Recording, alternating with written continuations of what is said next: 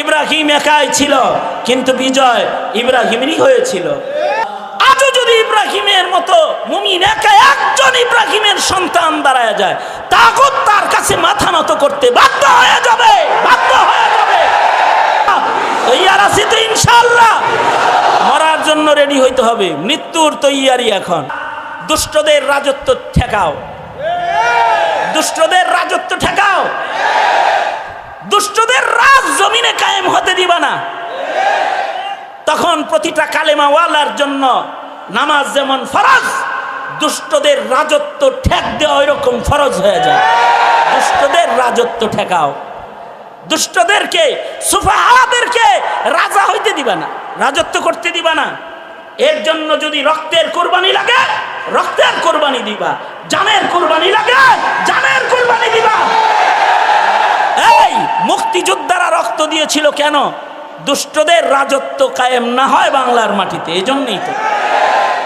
স্বাধীনতা যুদ্ধ হয়েছিল একাত্তরে, আর মুক্তিযোদ্ধারা রক্ত দিছিল কেন? জুলুম এই জমিনে প্রতিষ্ঠা পেতে দেওয়া যাবে না। জুলুম প্রতিষ্ঠা পেতে দেওয়া যাবে না। যে বাংলাদেশের মাটিতে পাকিস্তানি হানাদাররা জুলুম করে, জুলুমের রাজ কায়েম করবে, নারী আর শিশুদের জানমালের নিরাপত্তা নষ্ট হবে, নারীর সম্ভ্রম, ইজ্জত, সম্মান নষ্ট হবে। আর বাংলাদেশের খেটে খাওয়া মানুষের অধিকারকে খর্ব করে তারা পাকিস্তান বসে বসে, তারা আয়েশ করবে, আরাম করবে, আর দুঃখী জনতাকে শোষণ করবে। এ জুলুমকে ঠেক দেওয়ার জন্যই হয়েছিল একাত্তরের মুক্তিযুদ্ধ। এ জালেমদের রাজত্ব জমিনে কায়েম করতে দেয়া যাবে না। জমিনে যদি কখনো জালেমরা রাজত্ব করতে চায়, দুষ্ট লোকরা, খুনিরা রাজত্ব করতে চায়, দুষ্টরা রাজত্ব করতে চায়, জমিনের ভালো মানুষকে যখন কেউ জিম্মি করে ফেলতে চায়, নামাজি আবে দিনদার, পরহেজগারদেরকে জিম্মি করার চক্রান্ত যখন শুরু হয়ে যায়, তখন ওয়াজিব হয়ে যায়, তখন ফরিজা হয়ে যায়। এই জালেমের দুঃশাসন তথা জুলমের বিরুদ্ধে গর্জেও দাঁড়িয়ে যাওয়া প্রয়োজনে জীবন বিতরণ করা তখন এক ফরিজা ইবাদতে পরিণত হয়ে যায়। কারণ হলো, জমিনে জুলমের রাজত্ব প্রতিষ্ঠা হতে দেয়া যাবে না। জুলুম প্রতিষ্ঠা হতে দেওয়া অধিকার অধিকার! স্বাধীনতা আমার অধিকার।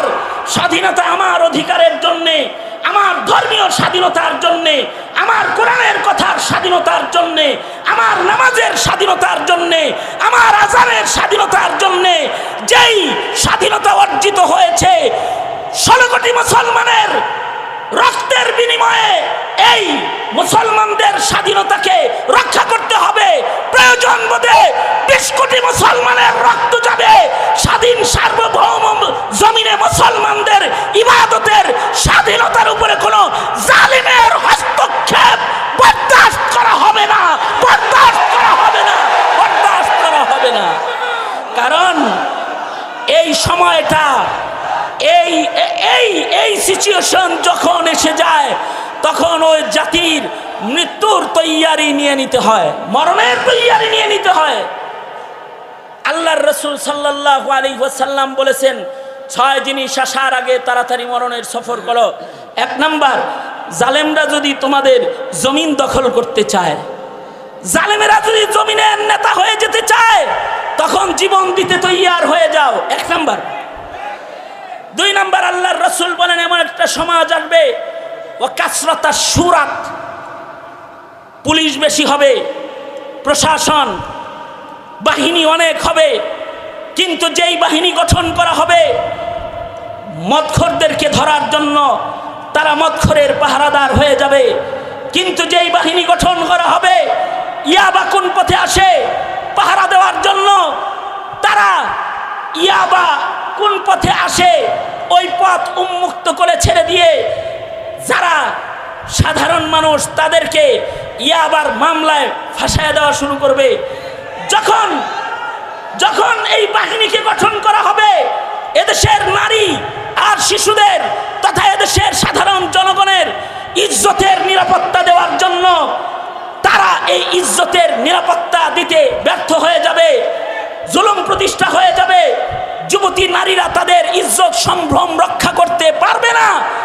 যেই বাহিনী গঠন করা হবে চোর ধরার জন্য, ডাকাত ধরার জন্য, খুনি ধরার জন্য, ওই বাহিনী চোর আর ডাকাতদের পাহারাদার হয়ে যাবে। অর্থাৎ দরকারি বাহিনীটা যেন সরকারি মালে পরিণত হয়ে যাবে। ওই সময় জীবন দেওয়ার জন্য প্রস্তুতি নিয়ে নিতে হবে।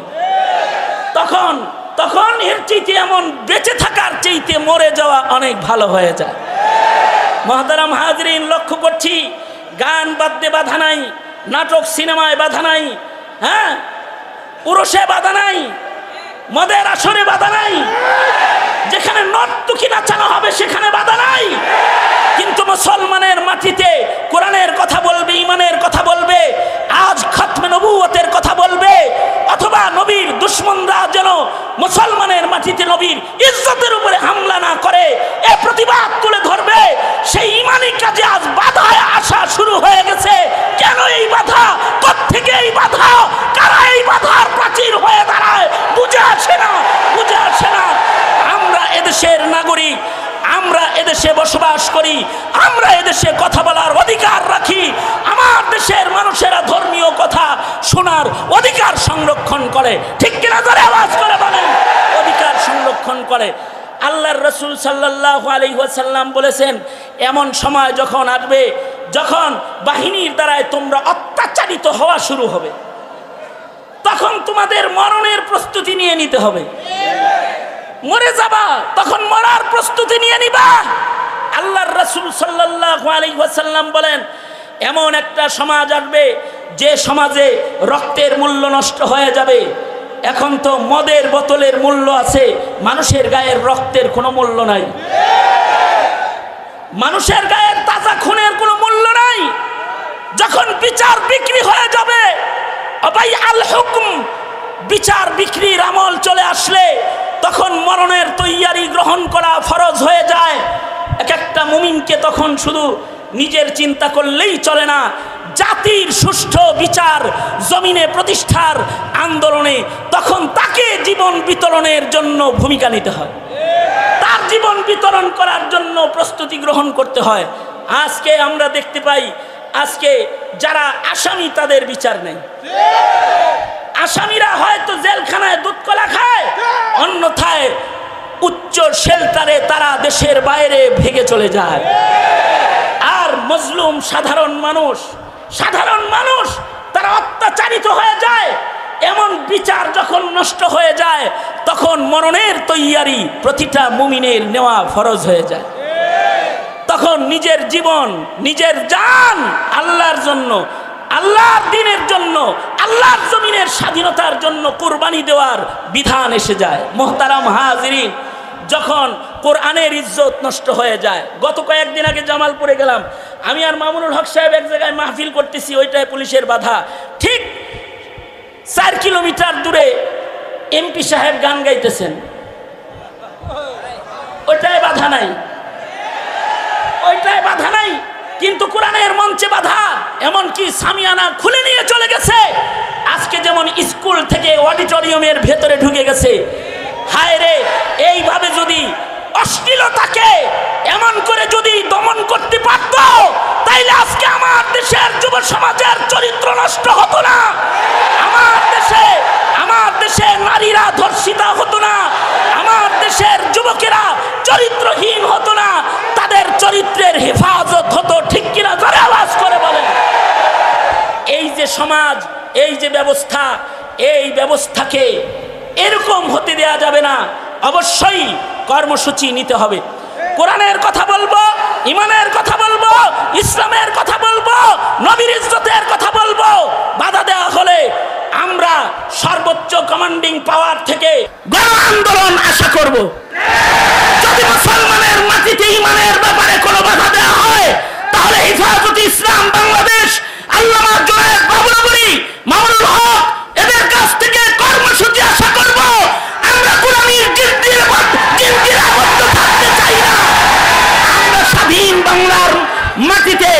স্বাধীনতা নিয়ে বেঁচে থাকতে চাই।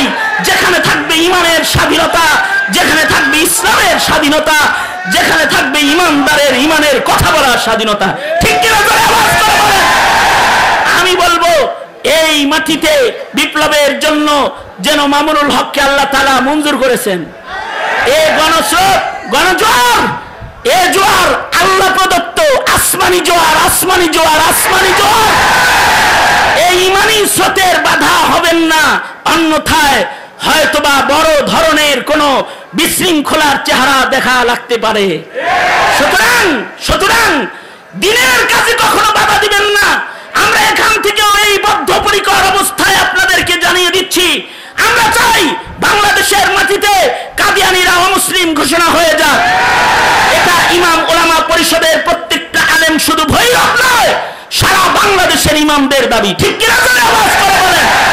সতেরো কোটি মুসলমানের মাটিতে নাস্তিক মোর্তাদের সর্বোচ্চ শাস্তি, মৃত্যুদণ্ডের আইন চাই আইন চাই আইন চাই আইন চাই আইন চাই, মৃত্যুদণ্ডের আইন চাই।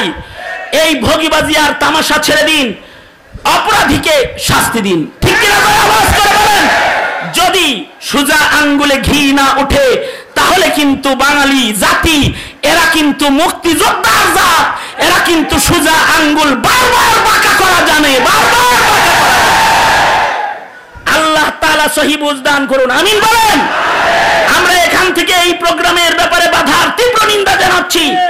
এবং ইমানি যে সকল কর্মসূচি আসছে সেই সকল কর্মসূচিগুলোকে বাস্তবায়ন করার জন্য আপনাদের কাছে উদাত্ত আহ্বান জানাচ্ছি।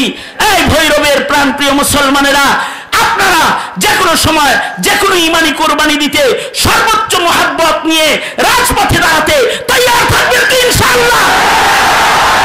নাসরুম মিন আল্লাহি ওয়া ফাতহুন করিম। ওয়াবাশশিরিল মুমিনিন। আসসালামু আলাইকুম ওয়া রাহমাতুল্লাহি ওয়া বারাকাতুহু।